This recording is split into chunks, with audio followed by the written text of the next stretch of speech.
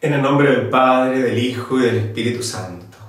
El Dios que tiene predilección por los pequeños y postergados, esté siempre con ustedes. Del Evangelio según San Mateo.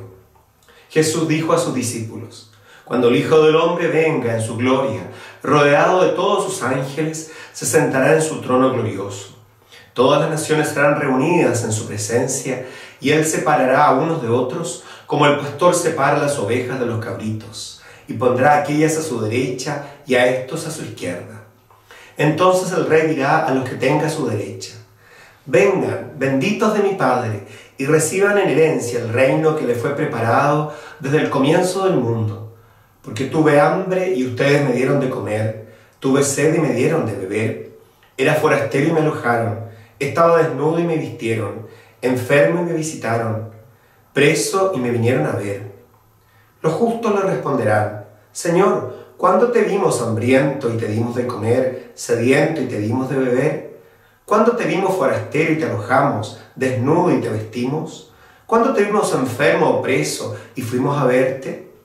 Y el rey le responderá, les aseguro que cada vez que lo hicieron con el más pequeño de mis hermanos, lo hicieron conmigo. Luego dirá a los de su izquierda, Aléjense de mí, malditos, vayan al fuego eterno que fue preparado para el demonio y sus ángeles.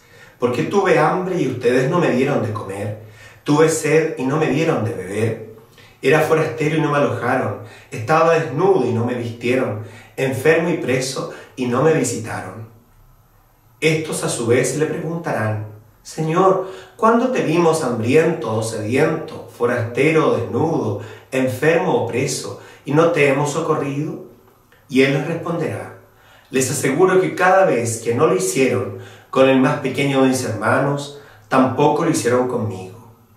Estos irán al castigo eterno y los justos a la vida eterna.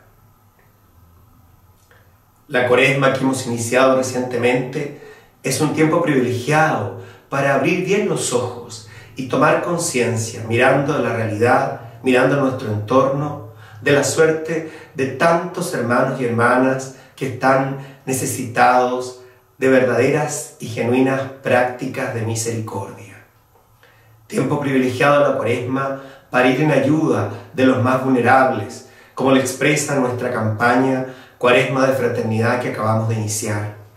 Ojalá que en el ejercicio gratuito de la misericordia podamos un día ser hallados por Cristo merecedores de la herencia del reino eterno.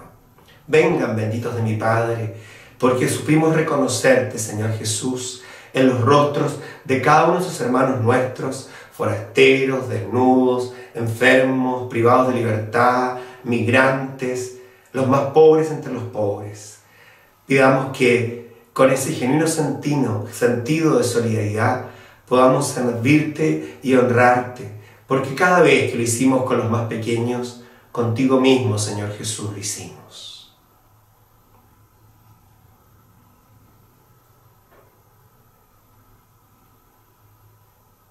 Creo, Jesús mío, que estás real y verdaderamente en el cielo y en el santísimo sacramento del altar.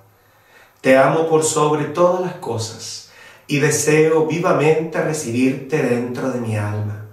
Mas, no pudiéndolo hacer ahora sacramentalmente, ven espiritualmente a mi corazón.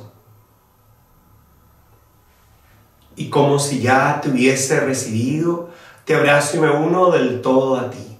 Señor, no permitas que me separe de ti. Que por la intercesión de San Alberto Hurtado, apóstol de la solidaridad, les bendiga aquel que es Padre, Hijo y Espíritu Santo.